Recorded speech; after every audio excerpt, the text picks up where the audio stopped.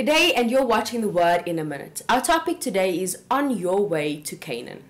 The Israelites were on their way to Canaan. This was, God, this was the promised land, this was God's best for their lives.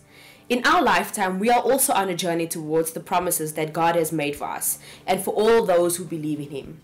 Jesus says in John 8:31, "If you hold to my teaching, you are really my disciples. Then you will know the truth, and the truth will set you free." You see, Canaan represents God's promises being fulfilled in your life. But as you know, not all the Israelites were permitted to enter into the promised land.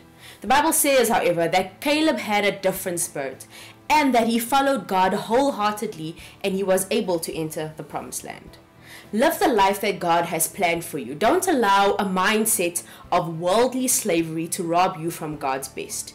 You are no longer under the yoke of slavery. Remember that you have been set free. Thank you for watching and have a blessed week.